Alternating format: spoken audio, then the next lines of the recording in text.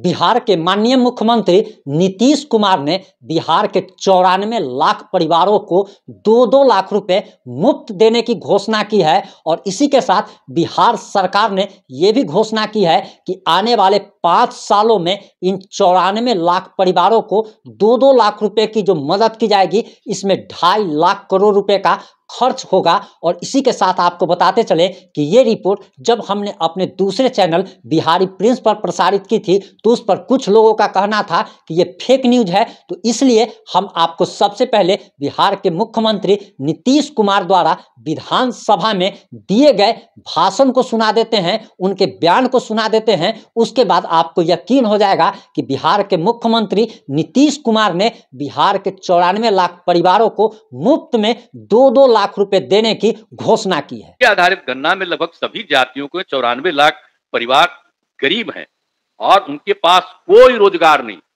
अब आप सोच लीजिए, कोई रोज़गार नहीं उनके लोगों को। बाकी लोगों के पास जो कुछ भी है, अब इतने लोगों के पास कोई रोज़गार नहीं तो उनको तो कुछ मदद करना है ना भाई। तो हम यही कह रहे हैं, एक चीज़ और कि आप उसके लिए जो कुछ भी किया जा सकता है, दो लाख रुपए तक की राशि किस्तों में उपलब्ध करा देंगे। मैंने मुफ़्त में उनको दो लाख रुपया का मदद दिया जाएगा हर परिवार को, ताकि कोई कोई काम करो।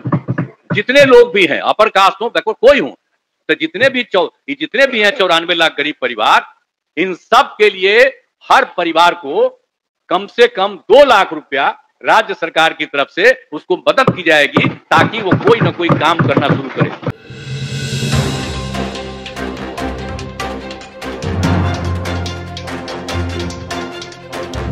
नमस्कार, मैं प्रिंस कुमार सिंह और आप देख रहे हैं पॉजिटिव इंडिया अगर अभी तक आपने चैनल को सब्सक्राइब नहीं किया है तो खबरों से अपडेट रहने के लिए कृपया चैनल को सब्सक्राइब कर लीजिए और जो लोग ऑलरेडी कर चुके हैं, उन तमाम लोग को सहृदय धन्यवाद। अब वापस आते हैं अपनी खबर पर। दरअसल, बिहार सरकार बिहार के चौरानवे लाख गरीब परिवारों को जिनकी इनकम छः हज़ार रुपये से कम है। उन सभी को दो दो लाख रुपए मुफ़्त में देने जा रही है और ये पैसा लौटाना नहीं पड़ेगा। इस पैसे से वे अपने रोज़गार की व्यवस्था कर सकते हैं और बिहार के माननीय मुख्यमंत्री नीतीश कुमार द्वारा विधानसभा में किए गए वादे को और भाषण को आप लोगों ने ज़रूर सुन लिया होगा। आपको बताते चले कि जब हमने यह रिपोर्ट अपने बिहारी प्रिंस चैनल पर प्रसारित की थी तो कुछ लोगों ने कहा था कि ये फेक न्यूज़ है और ऐसा कुछ भी नहीं है कि बिहार सरकार लोगों को दो दो लाख रुपया देने जा रही है। आपको बताते चले कि ऐसी ही एक घोषणा पंद्रह पंद्रह लाख रुपए देने की प्रधानमंत्री नरेंद्र मोदी ने की थी।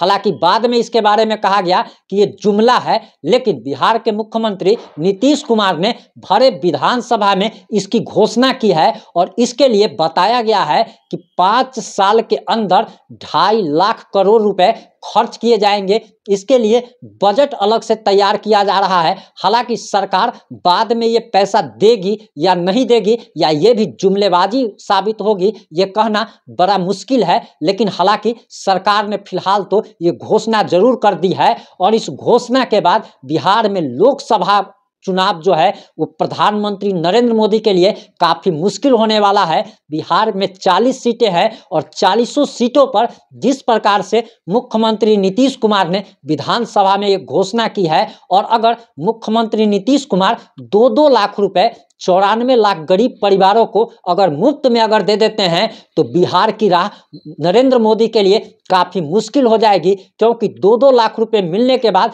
फिर से चालीसों सीट जितना प्रधानमंत्री नरेंद्र मोदी के लिए काफ़ी मुश्किल भरा होगा। हालाँकि ये भी कहा जा रहा कि जुमलेबाजी है, बाद में होना जाना कुछ नहीं है, लेकिन देखना बाकी रहेगा कि मुख्यमंत्री नीतीश कुमार अपने वादे को पूरा कर पाते हैं या फिर ये चुनावी जुमला साबित होता है।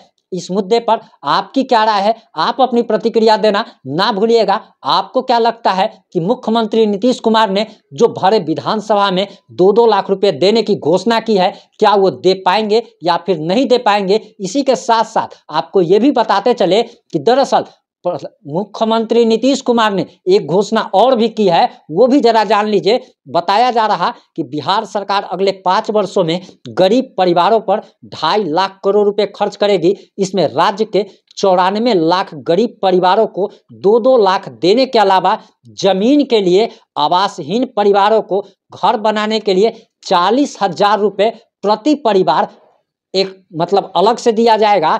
वहीं प्रदेश में दो करोड़ छिहत्तर लाख परिवार हैं। इनमें से उनसठ दशमलव तेरह प्रतिशत परिवार के पास पक्का मकान है, जबकि तिरसठ हज़ार आठ सौ पचास परिवार आवासहीन हैं, जिनके पास रहने के लिए घर भी नहीं है और इन परिवारों को जो प्रधानमंत्री आवास योजना के तहत जो राशि मिलती है, उसमें चालीस हज़ार रुपया एक्स्ट्रा बिहार सरकार की तरफ़ से दिया जाएगा। वहीं बताया जा रहा कि हर साल पचास पचास हज़ार करोड़ रुपए खर्च करने की भी घोषणा की गई है।